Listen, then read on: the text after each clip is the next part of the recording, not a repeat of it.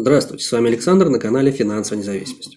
Инвестирую уже больше 20 лет, инвестиционный портфель превысил 27 миллионов рублей. И его можно увидеть здесь на канале по субботам. Итак, что делать, если фондовый рынок сильно растет? На идею записи этого видео меня натолкнули многочисленные комментарии возбужденных зрителей с вопросами, что делать. Фиксировать прибыль или немного подождать. Некоторые писали, что им даже страшно от такого вот роста. И такое тоже бывает, хотя меня этот страх совершенно непонятен. Некоторые из вас писали, что не видят уже смысла в покупке активов по текущим ценам. Ведь недавно прошедшая коррекция практически не исправила ситуацию. Цены на многие активы сейчас опять стремятся к максимумам и даже выше. В общем, не переключайтесь и узнайте, как вести себя на лихом росте фондового рынка, нужно ли фиксировать прибыль при сильном росте активов и как покупать активы на продолжающемся росте цен. Ну и как подготовиться к смене настроений и к возможной коррекции. И, естественно, как всегда, будет личный опыт и рекомендации. Поехали! Если посмотреть на график S&P 500, то сложно не заметить бурный рост индекса, особенно после выборов американского президента. Даже графики я показывать сейчас не буду. Всем известно, что американский фондовый рынок сильно восстановился и несколько раз уже обновил свои исторические максимумы.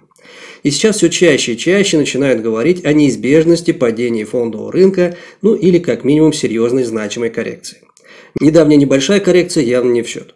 Я делал несколько видео с мнениями известных экспертов и легендарных инвесторов о неизбежности скорого падения на фондовых рынках. И действительно, предпосылки к переоценке инвестиционных активов присутствуют. Но это сегодняшнее видео не об этом. Так вот, что делать, если рынок растет, обгоняя фундаментальные финансовые показатели? Растет на оптимизме, смотря в будущее и не замечая текущих экономических параметров и проблем. Страшно ли это? Как покупать в таком случае? Как инвестировать?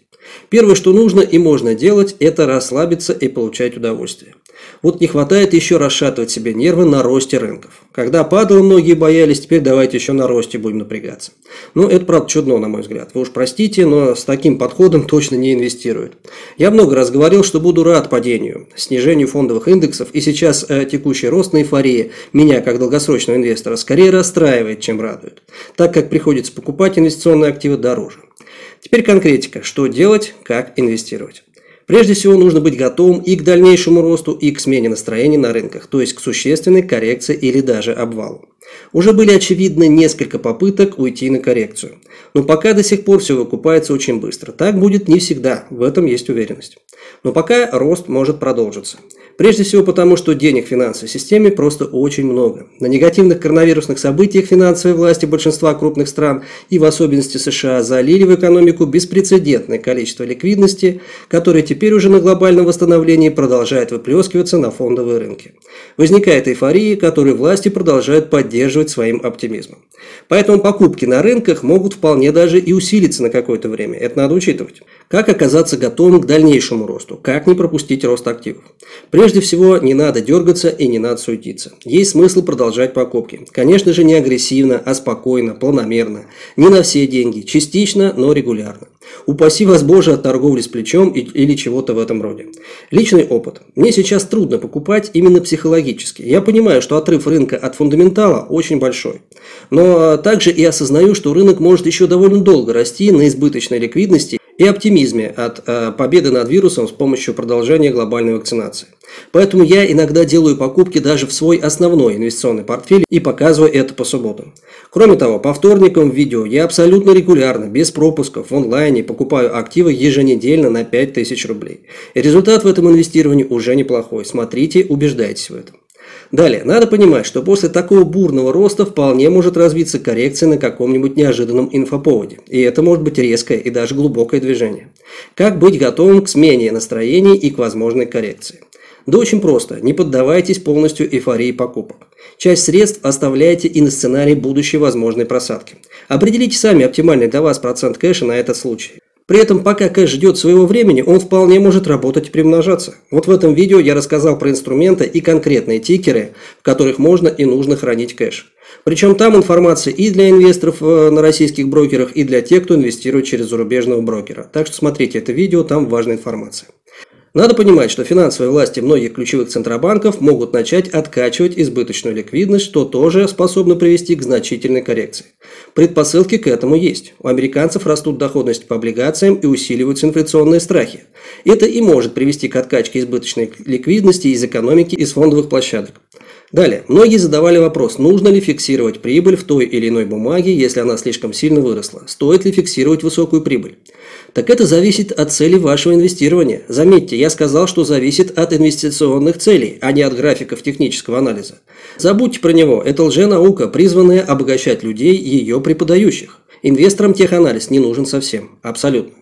Так вот, если конкретная бумага или весь ваш портфель выросли на запланированные 30 ну или 50%, и это была цель вашего инвестирования, то, наверное, можно и продать, ведь цель-то достигнута. Просто странно ставить себе вот такие цели. Вот, к примеру, у меня цель достичь финансовой независимости через несколько лет. И это дивидендная зарплата, но вы об этом знаете. И, конечно же, в рамках этой цели, этой стратегии я ничего продавать не собираюсь. Потому что подобные спекуляции вполне могут отдалить меня от моей цели. А оно мне не надо совершенно. Однако, если эта бумага, например, из второго или даже третьего эшелона низко ликвидна и выросла, к примеру, в разы на непонятных или неизвестных причинах, то можно и продать. Такое бывает. Ну, только вот какой смысл вообще лезть в третий эшелон с его рисками? Осторожней с этим.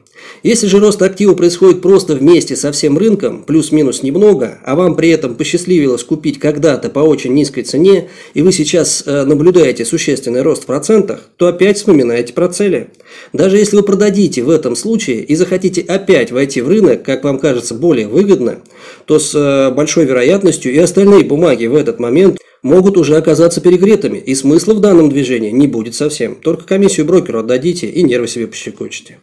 Возможно, вам и повезет, такое тоже бывает, но строить стратегию инвестирования на везении и хаотичных сделках купли-продажи я бы не рекомендовал. К хорошему это, как правило, не приводит. Об этом много сказано вот в данном ролике, смотрите и не говорите, что не видели. Не говорите, что я вас не предупреждал о вреде спекуляций. Для сомневающихся и предполагающих, что на спекуляциях можно регулярно зарабатывать и на длительном периоде времени, это видео обязательно к просмотру.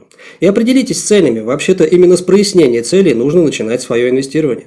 Далее, дополнение. Если какая-то бумага выросла в цене сильно, то, скорее всего, рынок просто очень хорошо оценивает ее будущие перспективы. Так пусть полежит в портфеле такой качественный актив. Даже если потом рынок скорректируется, то чего же в этом страшного-то? В вашем портфеле будут хорошие бумаги и правильная высокая диверсификация. И эту возможную коррекцию вы переживете, и портфель продолжит расти на длительном горизонте. Суета и резкие телодвижения с покупками, продажами и вылавливанием процентов прибыли в нормальном долгосрочном инвестировании совершенно не нужны, даже противопоказаны. Это пагубно влияет на общий инвестиционный результат и вредно для здоровья и нервов. Далее, сейчас будет самое важное. Но прежде чем продолжить, очень хочу поблагодарить всех, кто поддерживает канал лайками и комментариями. Отдельное спасибо зрителям, которые поддерживают канал материально через кнопку «Спонсировать». Спасибо, что поддерживаете мои аналитические и обучающие материалы и понимаете, что это нелегкий труд. Так вот, важное. За последние 100 лет рынок опускался на 25% и ниже целых 15 раз. Речь идет об американском фондовом рынке. При этом в среднем общая стоимость рынка удваивается каждые 9 лет. Да, фондовый рынок иногда корректируется, но чаще растет и периоды э, роста гораздо длительнее. Так зачем суетиться, выскакивать из рынка в преддверии возможной коррекции? Коррекция ведь может и не случиться или окажется недостаточной для вас. Но вот что точно произойдет, так это рост рынка на длительном периоде времени.